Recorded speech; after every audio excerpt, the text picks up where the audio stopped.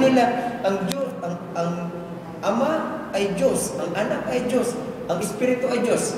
Ngayon, ang tanong doon, sinabi nila, ang tatlo daw ay isa. Ito, ilan ito?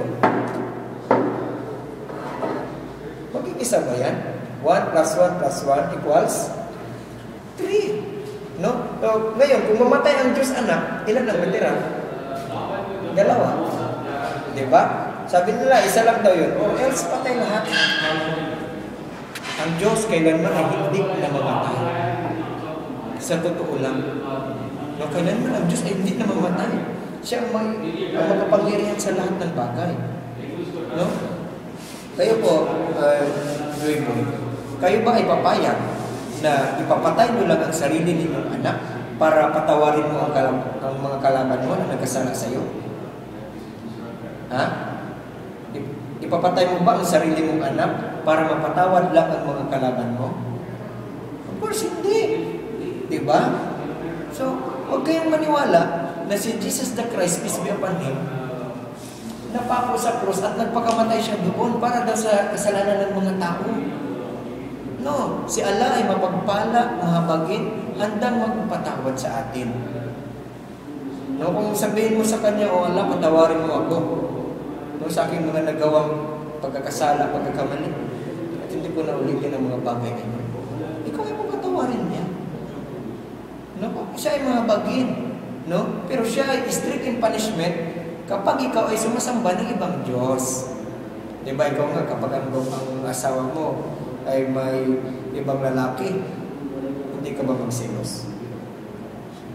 Ha? Di ba, baka kung makita mo pa, unda sila, mapatay mo. No? So, ganun din ang God. Halimbawa, si Allah ay nagbigay sa inyo ng trabaho, ng bahay, ng asawa mo. Lahat-lahat ibinigay niya sa inyo. Ngayon, sa iba kayong Diyos sumamba. Maganahan siya? Of course not. Hindi siya maganahan. Diba? Halimbawa, kung ikaw yung ano ko, uh, kuya, ikaw yung uh, nagbigay sa mother ko, no, kafil, sponsor, nagbigay sa akin ng passport, uh, visa, bahay dito. Pagkatapos, bilang driver mo sana, no, na pag-drive kita, pagkatapos sa kanya ako nag-drive, natuwa ka? Of course hindi, di ba? So, ganun din. No? Si Allah ang lumikha sa atin. Nagbigay ng buhay sa atin. Nagbigay ng biyaya sa atin. Nung magdasal man tayo sa kanya o hindi, napakabait niya, pinapakaan pa rin niya tayo. Pero sa araw ng pag-uwag of course, ikaw ay tatanungin niya, sinasamba mo ba ako? Tingnan nyo ha, sa Bisaya, may kasabihan kami, ang taong may nagpuon, may nagdubon sa Diyos. Di ba? Na, i-translate natin yun ha, hindi sila Bisaya. Nabi niya, ang taong madasali ay palagi niya naalala ang kami na mga Muslim, isa sa haligi ng pananampalataya sa Islam, unang-una, uh, yung shahada. Ikaw ay sumasaksi na walang ibang Diyos dapat sambahin. I will wait for sec. Uh, Maliban kay Allah. Ismail, still talking. At ikaw ay sumasaksi na si Propeta Muhammad, Yeah, yeah, yeah. sugo ni Allah, huling sugo niya, pagkatapos ni Propeta Isos, ikaw ay magiging Muslim. Ganun lang yun. Hindi ka na kailangan pang ilublob sa tubig. Hindi ka na kailangan ilublob pa sa tubig. O di kaya, basbasan pa. No? Hindi na yung kailangan. Okay? Kundi, ikaw ay manumpa lang na walang ibang Diyos na dapat sambahin maliban sa tunay na Diyos. At ikaw manumpa na si Propeta Muhammad ang kanyang huling sugo. Muslim ka na.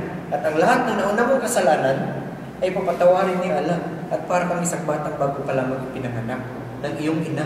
Like a born baby lang. No, kahit 50 years ka nagkasala kapag ikaw ay pumasok sa Islam, baliwala na yung lahat ng mga nagawa mong mga kasalanan, pero yung mga lahat na nagawa mong kabutihan, nananatili po yun. No? So, ganun. So, ang pangalawang haligi, yung pagdasal namin, hanggang sa day. Okay? As a Muslim, kailangan natin magsumika, magdasal limang beses sa araw. Ah, sinabi ng Diyos, Wadkuruni at kurkum. Washkuruli wala takkurun. Sinabi niya, Remember me, I will remember you.